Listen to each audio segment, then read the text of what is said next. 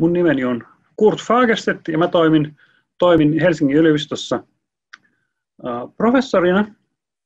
No nyt teidän pitäisi nähdä tämä mun ensimmäinen kuva. Uh, ja niin kuin Pekka tuossa sanoi, niin mä olen kasvibiologi, tai mä katson itse asiassa olevani kasvifysiologi. Tutkin kasvien elintoimintoja ja kasvua, ja olen tutkinut sitten puita varmaan viimeiset 20 vuotta, ja, ja opettanut niitä kanssa aika tavalla meidän, meidän opiskelijoille. Ja nyt tässä mä sitten esitän teille vähän puiden rakennetta lähtien ihan mikroskooppisesta rakenteesta ja puiden kasvutavasta, sen vaikutuksesta puiden ominaisuuksiin, puun makroskooppisesta rakenteesta, hiukan puun mikroskooppisesta rakenteesta. Puu on aika viehättävän näköistä katsottuna mikroskoopin alla, ja useat meidän opiskelijoista on sitä mieltä, että se on suorastaan taidetta katsotaan niitäkin kuvia, ja sitten puhutaan vähän puuaineen ominaisuuksista, mihin nämä makroskooppinen ja mikroskooppinen rakenne antaa sitten tietyt edellytykset, ja sitten ihan viimeksi katsotaan vähän metsävarojen kehitystä Suomessa ja sellaisia seikkoja. Tällaista olisi nyt sitten luvassa. Jos me katsotaan nyt sitten puun rungon makroskooppista rakennetta, niin päädytään tämän näköiseen kuvaan. Tässä on nyt piirroskuva. Mun hiiri varmaan näkyy siellä teidän näytössä piirroskuva, ja tässä käy hyvin ilmi se, että puussahan elävää solukkoa on itse asiassa vaan tässä kaarnan alla. Suurin osa tästä puun rungosta, ja siis se aine, mitä me käytetään puun rakentamisessa, niin on kuollutta solukkoa, joka tälle puulle on tukisolukkoa. Ainoastaan uloin vuosilusto tai muutama uloin vuosilusto toimii aktiivisesti veden ja ravinteiden kuljetuksessa, mutta muu on, on tukisolukkoa. Ja se kaikki syntyy nilan kasvattamana ja tuossa alemmassa kuvassa nähdäänkin tuo nilavyöhyke, joka sitten kasvattaa sisäänpäin puuta ja ulospäin jälttä ja se on heti tuossa kaarnan alla tämä nilavyöhyke.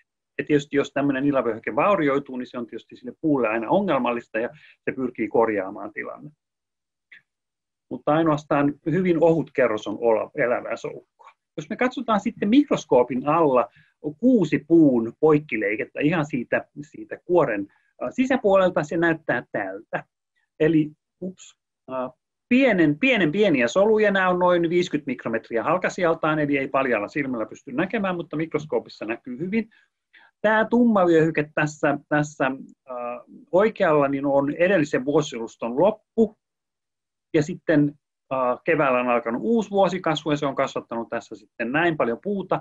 Täällä menee sitten jälsivyöhyke, joka kasvattaa koko ajan sisäänpäin puuta ja ulospäin sitten nilaa. Tämä on sitten nilaosaa täällä. Ja täällä kulkee taas kaikki yhteyttämistuotteet, sokerit, vitamiinit, kulkeutuu sitten ympäri kasvia, pääasiassa sieltä lehdistä alas kehittyviin hedelmiin, siemeniin tai juuriin, jossa niitä sitten tarvitaan. Tämä on havupuun rakenne ja se on aika yksinkertainen verrattuna lehtipuiden rakenteisiin. Me katsotaan myöhemmin lisää näitä kuvia. No jos me sitten katsotaan kokonaista puuta, tässä on nyt tämmöinen kaavakuva puusta pitkittäin leikattuna, tämä iso kuva tässä ja sitten poikki leikattuna tässä. Ja nyt puun äh, ollessa nuori muodostuu tätä äh, nuorpuuta eli ydinpuuta. Ja se on ominaisuuksiltaan aika erinäköistä kuin pintapuu, mitä kasvaa sitten myöhemmin, kun puu vanhenee. Ja nyt tämä nuorpuu on, on sen takia ominaisuuksiltaan erilaista, että nuoren puun täytyy kestää esimerkiksi taivutusta. Sen täytyy taipua tuulessa, se ei saa katketa, ja niinpä tämä nuorpuu on hyvin joustavaa puuta ja hyvin taipuisaa puuta. Ja se taas usein on sellaisia ominaisuuksia, mitä lautatavarassa ei kauheasti, kauheasti pidetä, ja se usein vielä puun kuivaessakin halkeaa enemmän kuin tämä pintapuu niin, että, sen ominaisuudet ei ole niin, niin hyviä ehkä käytännön kannalta. No sitten kun puu vanhenee, niin tänne keskelle muodostuu sydänpuuta. Joissakin lajeissa se on hyvin värikästä, tummaa, erottuu hyvin tuosta pintapuusta. Joillakin sitä ei muodostu lainkaan, että se puu on hyvin samannäköistä läpi tuon koko rungon. Jos katsotaan sitten poikkileikkauskuvassa kokonaista runkoa tässä, niin tämä vaalea tässä on pintapuuta, ja sitten meillä on sydänpuuta ja tuolla keskellä sit sitä nuorpuuta, jonka ominaisuudet on aika erilaisia kuin, kuin muuten tuolla puulla. Meidän tavallisella metsäkuusella tätä nuorpuuta muodostuu noin 10 vuosilustoa, että sitä ei kauhean paljon siellä sisällä ole. Se on ehkä halkasijaltaan tuommoinen muutama senttimetri paksuinen, paksuinen kerros siellä puun keskellä. No jos katsotaan sitä sydänpuuta sitten ihan oikeista puista, niin tässä meillä on nyt sitten vastakaadettuja ähm, mäntyjä, ja kun se on vasta kaadettu, niin se tilanne voi näyttää tältä. Meillä on tässä kuvassa tummana näkyvää pintapuuta ja sitten sydänpuuta, joka näkyy vaaleana. Ja sitten kun tämä puu kuivuu ja vanhenee ja on vähän valon kanssa tekemisissä, niin tämä sydänpuu tummuu.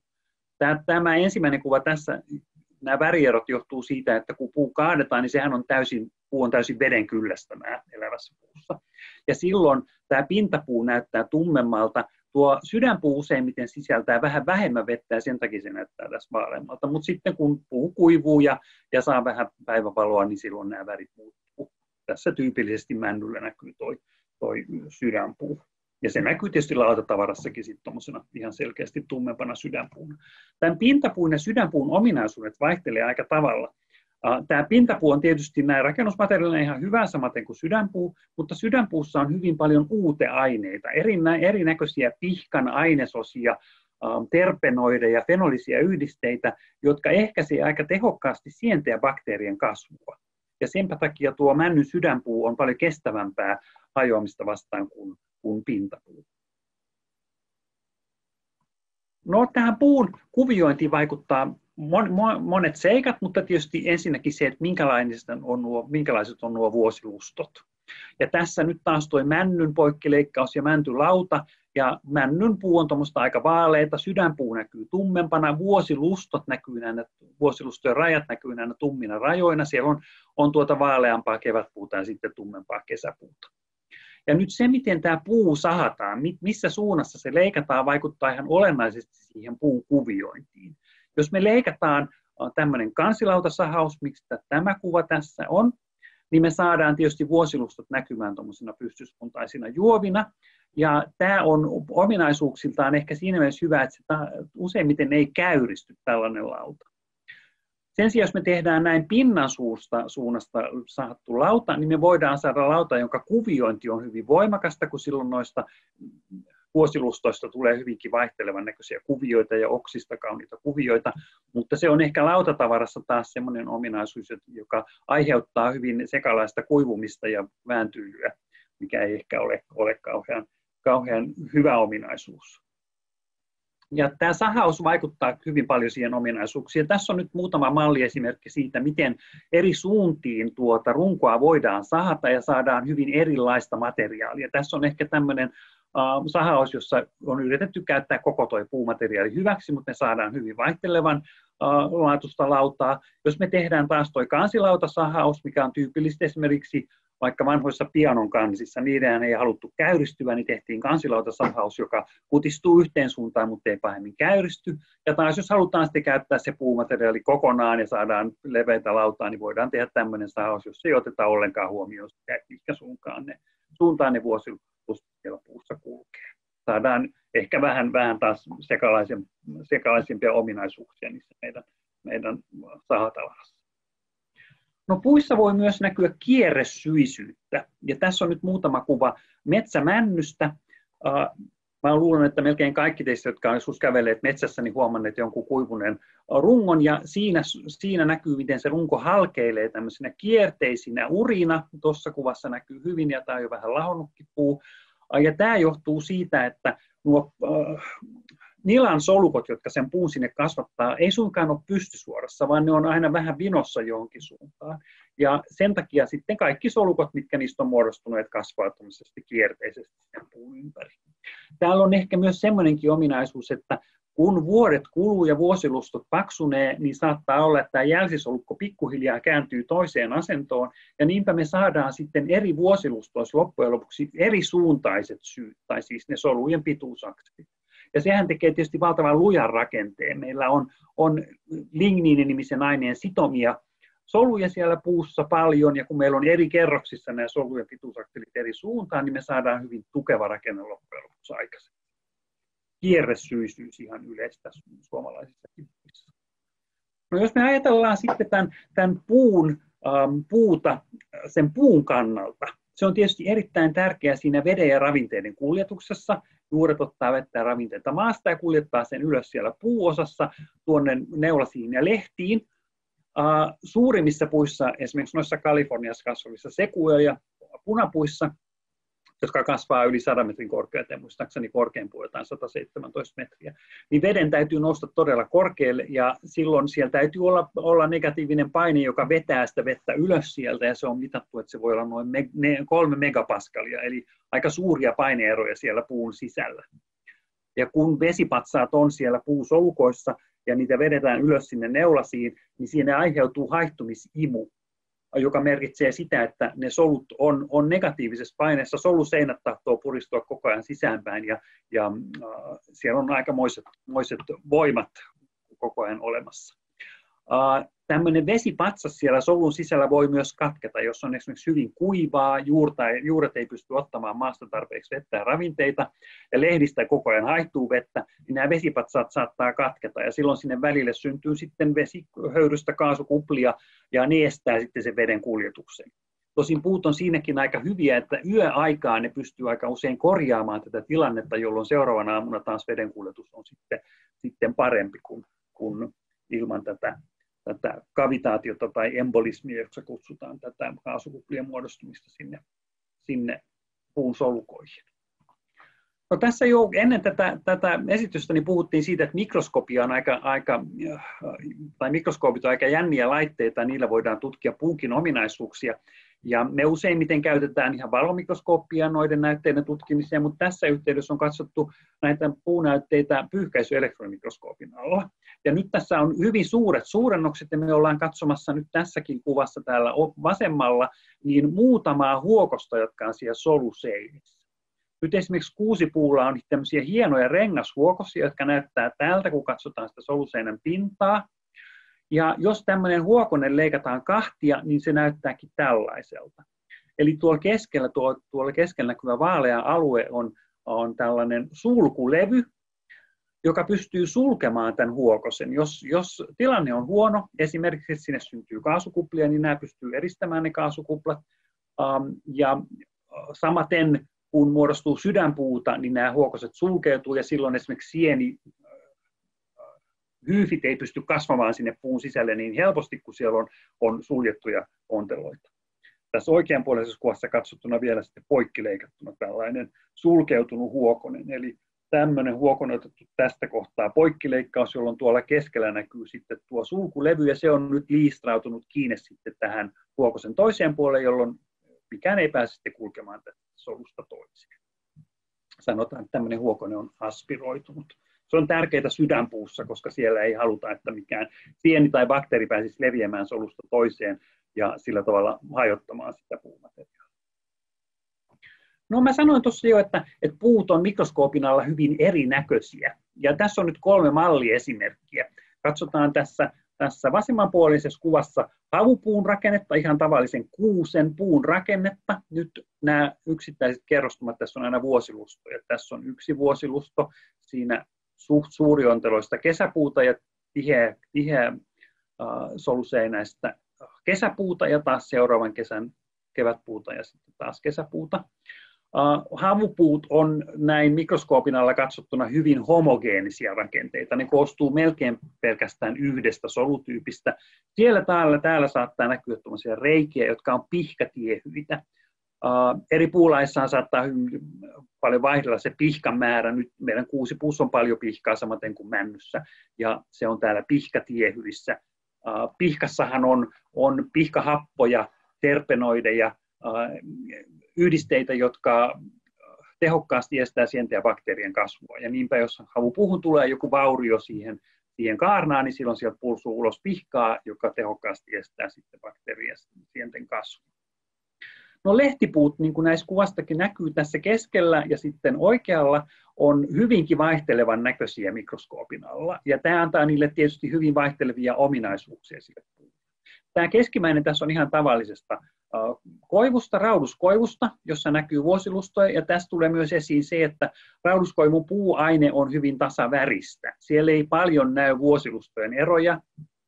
Tämä tumma viiva tässä on aina yhden vuosiluston raja, mutta muuten tämä vuosilusto on hyvin tasa, tasalaatuinen. Nämä suuret reijät tässä on, on nimeltään putkiloita, ja niiden kautta käy se vedenkuljetus, ja kaikki muu solukko täällä takana niin on, on paksuseinäistä tiukkaa solukkoa, joka antaa sille koivupuulle sen, sen lujuuden. Koivuhan on huomattavasti lujempaa puuta kuin tämä viereinen kuusipuu. No sitten tässä vieressä on uh, tammen poikkileikkaus. Suomessahan tammi kasvaa suhteellisen hitaasti useimmilla paikoilla, ja tässä nyt näkyy, että vuosilustot on aika tiheässä. Jos me otetaan tammi tuolta Keski-Euroopasta, sen vuosilustot on usein paljon paksumpia. Mutta näille on ominaista se, että yhden vuosiluston sisällä, jos me katsotaan nyt vaikka, nyt mun hiiri hävisi, jos me katsotaan tuosta keskeltä yhtä vuosilustoa, vaikka tästä tähän tätä vyöhykettä, niin me huomataan, että nämä suuriontaloiset reijät, nämä on kaikki putkiloita, joiden kautta vettä ja ravinteita kuljetaan. Ne on kaikki tässä kevätpuussa heti vuosiluston alussa. Ja sitten kesäpuussa ei muodostukaan pahemmin näitä suuria reikiä, vaan hyvin tiheää, paksuseinäistä, tiheää solukkoa. Tämä antaa, antaa tälle tammelle sen lujuuden. Ja nyt jos meillä Suomessa kasvatetaan tammea, niin vuosilustot on näin, näin kapeita, jää, jää paljon näitä alueita, joissa on suuria putkiloita. Silloin tämä puu on, on suhteellisen heikkoa, tietysti kovempaa kuin koivu, mutta suhteellisen heikkoa. Jos me verrataan keski-eurooppalaiseen puuhun, jossa vuosilustot on valtavan paljon paksumpia, kun, kun kasvukausi on niin paljon pidempi. Ja niissäkin muodostuu tähän vuosiluston alkuun näitä, näitä suuria putkiloita, ja mutta niitä muodostuu vain tähän vuosiluston alkuun. Sitten kaikki loppuvuosilusto, joka saattaa olla hyvin paksu, onkin tätä hyvin paksuseinäistä solukkoa, jolloin kokonaisuudessaan saadaan todella kovaa puuta. Ja niinpä Keski-Euroopassa kasvatettu tammi on kovempaa kuin mitä meillä täällä Suomessa kasvatetaan kokonaisuudessaan voidaan sanoa, että, että jos tällainen tammipuu kasvaa nopeasti, niin sen puuaine on kovaa. Jos taas katsotaan tätä meidän kuusta, ja jos se kasvaa nopeasti, niin muodostuu paljon tätä kesäpuuta, joka on suht ohutseinäistä ja vähän tuota, paljon kesä, siis tätä, anteeksi, kevätpuuta ja, ja hyvin vähän tätä kesäpuuta, jolloin havupuu on taas aika pehmeä. Ihan, ihan toisenlainen tilanne. Jos havupuu kasvaa nopeasti, niin puuaine on pehmeää. Jos taas tuommoinen tammipuu kasvaa nopeasti, niin puuaine onkin kovaa. Vähän, vähän vaihtelevia ominaisuuksia riippuen ihan siitä, minkälainen, mikä puu on kyseessä. No, jos katsotaan sitten sen puuaineen ominaisuuksia, jotka vaikuttavat siihen käyttöön, niin puu on, on rakenteeltaan anisotrooppista, eli, eli eri suuntiin erilaista. Eli kappaleiden ominaisuudet on syiden suunnassa erilaiset kuin tangentin suunnassa tai säteen suunnassa, jos katsotaan sitä koko runkoa. Ja se tietysti vaikuttaa olennaisesti myös siihen, että minkälaista lankkua siitä saadaan ja, ja miten se sahaus vaikuttaa sitten sen, sen puun ominaisuuksiin. Puu on myös hygroskooppista, eli se, se luovuttaa ja imee vettä riippuen ympäröivän ilman kosteudesta ja lämpötilasta. Ja tämä on tietysti sellainen, joka varmasti vaikuttaa sen käyttöominaisuuksiin sillä puu elää myös sen kosteuden mukaan. Me kaikki tiedetään, että jos puu kostuu, niin se laajenee ja, ja se vaikuttaa olennaisesti sen käyttöominaisuuksiin. Ja sen takia varmaan rakennuksissa ei toivotakaan, että puu kostuu liikaa. Tietysti on hyvä, että, että noin, noin huoneilmassa niin puu ottaa sitä kosteutta ja, ja luovuttaa sitä ulos, mutta tietysti jos siellä on liikaa kosteutta, niin silloin puukin alkaa lahota. Ja tämä kosteus vaikuttaa tietysti puun lujuuteen ja johtokykyynkin jonkun verran. No sitten puu kestää hyvin monenlaisia kemikaaleja. Me tiedetään, että se on aika korrosion kestävää. Erosio on hidasta. Jos meillä on puu ulkona, niin sen erosio on noin 6 mm vuosisadassa. Eli äh, aika hidasta. Ja jos se puu on vielä maalattu tai jotenkin muuten pintakäsitelty, niin sen, sen korrosio on vielä hitaampaa. Puu palaa tietysti aika helposti. Polttopuu on tietysti tärkeää, siitä saadaan paljon energiaa, mutta ehkä sen puu, puun käytössä ei ole sitä kaikkein korkea-arvoisinta tuottoa. Puu on tietysti paloherkkää, se on otettava huomioon, kun sitä käytetään sisustusmateriaalina. Tämä nyt on itsestään selvä. No sitten lisää puuaineen ominaisuuksia. Puu hajoaa biologisesti, sienet ja bakteerit, hyönteisetkin saattaa joskus hajottaa puuta. Puuta voidaan myös hajottaa kemiallisesti ja silloin kun me tehdään paperia tai, tai äh, kangaskuituja, niin silloin me hajotetaan sitä puuta usein kemiallisesti. Puu on hyvä eriste, ja niin kuin me nähtiin noista mikroskooppikuvista, niin rakenteeltaan puu on erittäin huokoinen, sisältää runsaasti ilmaa. Lämpöhukka on kuusi kertaa alhaisempi kuin tiilen läpi ja kahdeksan kertaa alhaisempi kuin lasin läpi. Ja samaten sen lämmön johtokyky on hyvin heikko ja puu johtaa myös sähköä hyvin vähän. No sitten jos katsotaan taas puun biologisia ominaisuuksia ja vaikka ilmastonmuutosta, niin puu on uusiutuva luonnonvara, sitoo valtavat määrät hiilidioksidia. Tässä on nyt tämmöinen karkioarvio, että yksi kuutiometri puuta sitoo noin tonnin hiilidioksidia, eli valtavan suuri hiilivarasto. Jos me ei käytetä sitä puuta, puuta mihinkään, missä se hajoaisi tai poltettaisiin, niin silloin se jää sitten, sitten varastoimaan sitä hiilidioksidia. Ja mä oon jostain löytänyt tämmöisen tiedon, että tyypillinen suomalainen valmis talo sitä sitoo yhtä paljon hiilidioksidia kuin auto, jolla ajetaan 200 000 kilometriä. Eli jos ajaa vuodessa oikein reilusti, niin, niin saman verran tuotetaan hiilidioksidia kuin yksi valmis talo sitoisi. No puut on myös biologisesti erittäin pitkäikäisiä. Tässä on nyt tämmöinen malliesimerkki Metusale tietty Pinus longeva piinuslaji tuolta Kalifornian vuoristoista, jonka on vuosilustoissa laskettu eläneen noin 4700 vuotta. Tämä ei ole kauhean suuri puu, mutta, mutta erittäin pitkäikäinen. No, puu on tietysti erinomainen rakennusaineena, jos sitä käsitellään oikein, ja yksi tärkeä tekijä on, että liika kosteus ei saa päästä sinne rakenteisiin, koska se tietysti aiheuttaa sen, että sienet ja bakteerit pääsee toimimaan nehän ei yleensä toimi hyvin kuivissa olosuhteissa. Ja tässä on malli esimerkiksi yhdestä japanilaista temppelistä Naran kaupungissa. Mä olen matkustellut paljon Japanissa ja siellä on aivan mahtavaa puuarkkitehtuuria. Ja tämä on rakennettu hinokipuusta, tieteellisesti nimeltään Kameakyparis obtuussa, vuosina, 710-784, eli aika pitkän aikaa sitten, ja se on edelleen pystyssä. Tosin mä olen huomannut, että japanilaiset kyllä korjaa näitä, näitä puurakenteita aika paljon, että en ole kyllä ihan varma, että kuinka paljon siellä on ihan tota alkuperäistä puuta, puuta jäljellä vielä. No, puu on tietysti myös semmoinen esteettinen materiaali. Tässä on otettu nyt sitten muutamia laudan pintoja, jossa nähdään, miten vaihtelevan näköistä puu saattaa olla. Tuolla vasemmalla männyn sydänpuuta ja pintapuuta, sitten tuossa keskellä tammen voimakasta kuviointia, Jalava on semmoinen, mitä meillä on aikaisemmin käytetty esimerkiksi huonekalurakentamisessa, mutta nykyisin käytetään aika vähän. Sen, mun mielestä sen, sen pinta on todella kaunis. Siinä on tuommoista punaruskeaa väriä, joka saattaa vaihdella sitten kellaruskean tai vihertävän ruskean, hyvin, hyvin vaihtelevia värejä.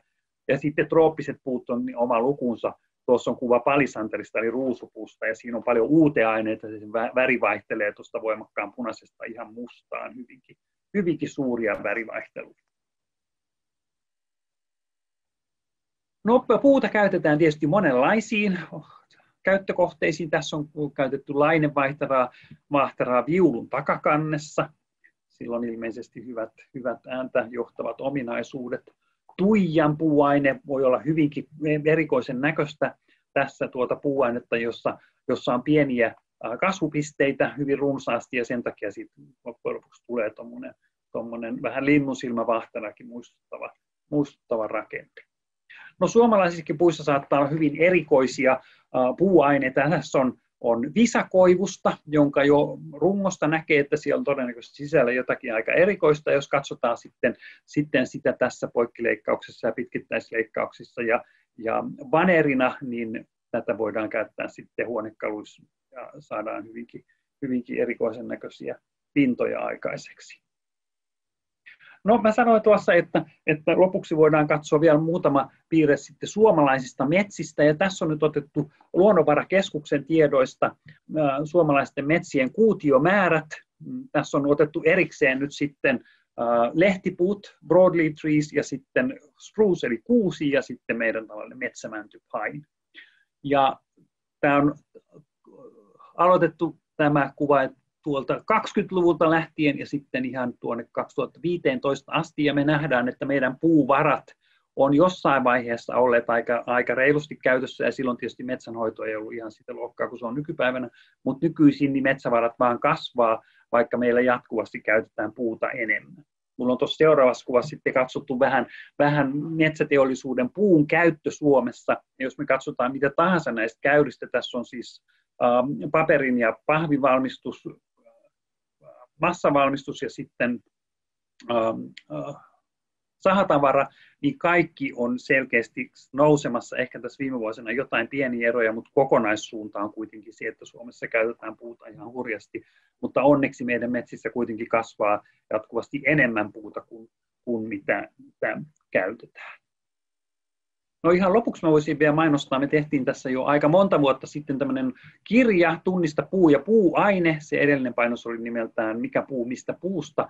Ja siellä on, on nyt sitten suomalaisia puita ja vähän muutamia ulkomaalaisiakin niin katsottu mikroskoopirakenteelta ja sitten laudan rakenteelta ja samalta, samalla myös kuvattu sitten kaarna ja lehdet ja kukat, joiden avulla voidaan sitten tunnistaa erilaisia tässä olisi teille vähän alustuksena nyt sitten puun rakenteesta ja sen käyttöominaisuuksiin vaikuttavista tekijöistä.